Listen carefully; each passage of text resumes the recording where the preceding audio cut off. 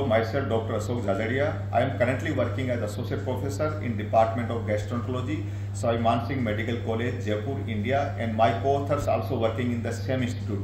I am also Director of Asoka Institute of Liver and Gastroenterology, Jaipur, India. The title of our study was Endoscopic Ultrasonography Guided Coil Embolization and Cyanoacrylate Glue Injection versus Isolated Cyanoacrylate Glue Injection for Gastric Varices, a randomized comparative study. Before doing this study, we were using endoscopy for gastric varices. We found certain challenges during endoscopy. The amount of glue which we needed was very high. As the amount of glue was high, the complication in the form of embolic phenomena were high.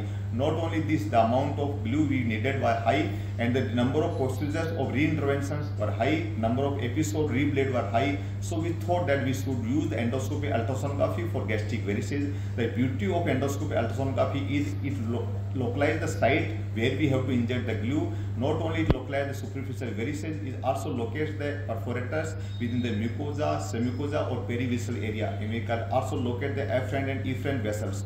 So we have the two arms in endoscopy ultrasonography. One arm where we initially use the coil followed by the synovial injection and another arm we have used directly synovial injection for gastric varices.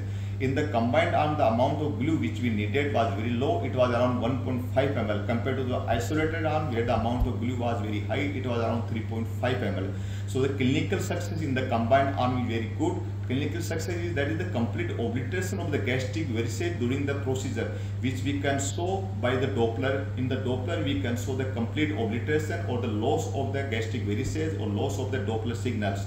So in the combined arm, not only the clinical success is high, the long-term complication and long-term reinterventions were very low because the amount of glue is less, the reinterventions and long-term complication very low. Not only this, the survival advantage in the combined arm was also good.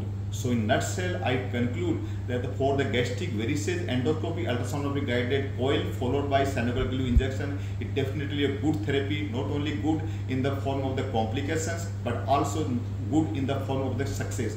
So success and the survival advantage were high in the combined arm. Thanks.